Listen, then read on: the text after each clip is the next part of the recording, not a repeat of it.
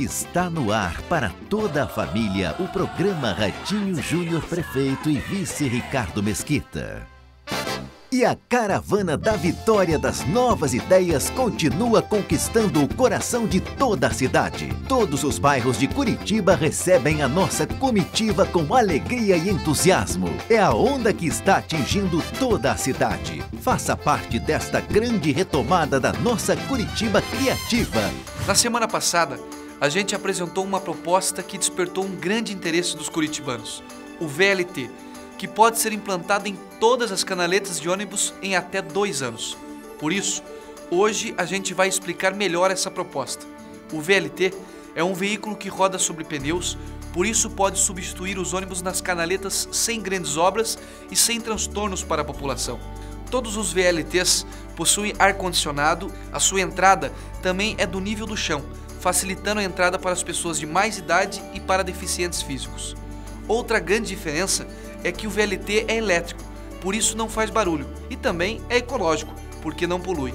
Com mais conforto e modernidade, muitos curitibanos vão voltar a utilizar o transporte público e deixar o seu carro em casa, melhorando o trânsito. O VLT é uma das novas ideias que vamos implantar para trazer a Curitiba criativa e com qualidade de vida que todos nós queremos. Mas para isso, eu preciso do seu voto. Meu voto é ratinho! Um dos motivos que eu vou votar no Ratinho Júnior é porque ele vai criar um sistema de transporte em Curitiba mais barato do que o metrô e mais eficiente. Eu vou votar no Ratinho Júnior porque ele é o melhor e eu o conheço. Antes de ir para o trabalho, o João leva o seu filho para a escolinha de futebol. O Piá tem jeito para coisa. Na portaria do prédio onde trabalha, ele assiste aos jogos da seleção e pensa: quem sabe um dia o meu menino não está lá? Todo pai curitibano é assim. Sonha em ver o filho ser craque. Em uma cidade como Curitiba, os sonhos viram realidade. E para continuar realizando sonhos, Curitiba precisa de paz. Ratinho Júnior vai trazer a paz de volta para as famílias curitibanas com ações firmes, inteligência e tecnologia contra o crime. Assim como esse módulo aqui no Jardim Social está fechado e depredado, essa é a situação da maioria dos módulos policiais nos bairros de Curitiba.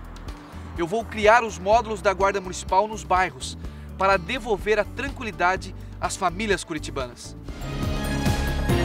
A Academia Superior da Guarda Municipal ela é um pleito antigo da categoria. A criação da tão sonhada Academia da Guarda Municipal vai ser um momento especial para a segurança de Curitiba, aumentando a capacidade dos guardas municipais cuidarem ainda mais da população da cidade. Hoje é o dia da independência. E ser independente é ser livre para fazer as melhores escolhas.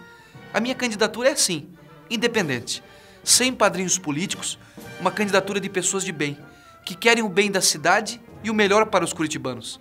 Minha independência vai permitir que eu chame os melhores técnicos para as secretarias e que eu tenha um bom diálogo tanto com o governo do estado quanto com o governo federal.